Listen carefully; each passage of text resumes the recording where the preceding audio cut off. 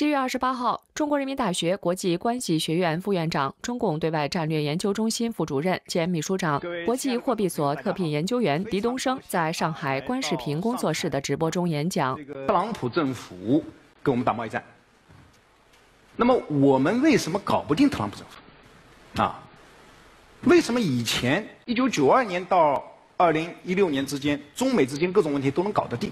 是不是？大家发现没有？所有的危机，不管是银河号事件，还是炸大使馆，还是撞了飞机，所有事情全部是床头吵架床尾和，两个月之内搞定。什么原因？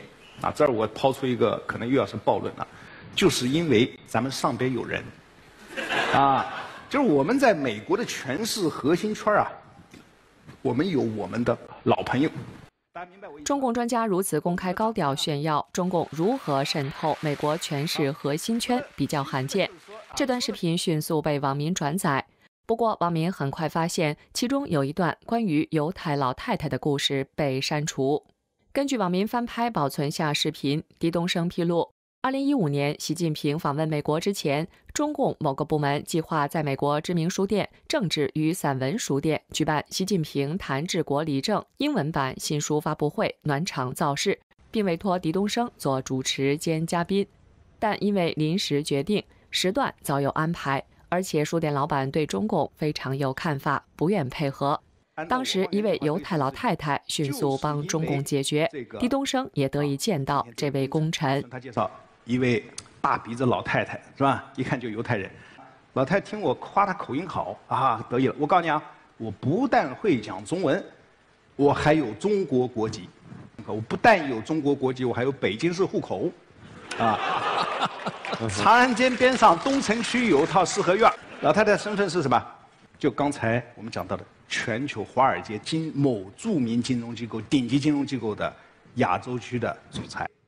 不过，狄东升坦言，零八年之后，华尔街的地位下降。更重要的是，二零一六年之后，华尔街搞不定川普。这些老朋友试图在贸易战中帮忙中共，但是力有不逮。他随即话锋一转：但现在呢？现在我们看到，拜登上台了。传统的精英，政治精英啊，这个建制派，他们跟华尔街的关系是非常密切的。所以大家看到吧？拜登的儿子被特朗普说你在全球有什么基金公司？发现没有？谁帮他建的基金公司啊？明白吗？这里边都有买卖啊。他这话说的啊，大家都知道，言外之意是谁给的钱呢？那我想不言自明了，自然是中共给的钱。他是自己说走了嘴，把中共在西方世界畅通无阻的这个金元外交的这个秘密说漏了，说透了。狄东升不仅没有避讳拜登儿子的硬盘门丑闻，还表示，此时中共在以恰当的方式表达所谓的善意，是有战术和政治价值的。那拜登家族可能这跟中国关系更加密切，可是呢，现在这个问题是变成那个美国民众啊，或者是共和党非常关注的议题啊，所以不见得啊啊政商关系的经营呢会像过去那样啊。得心应手啊，如鱼得水的啊！我觉得那个时代已经过去了。如果今天中共啊还有人啊啊认为用传统的一些做法啊，呃还是可以纵横国际之间呢，我觉得那个就错估了啊今后的国际的形势。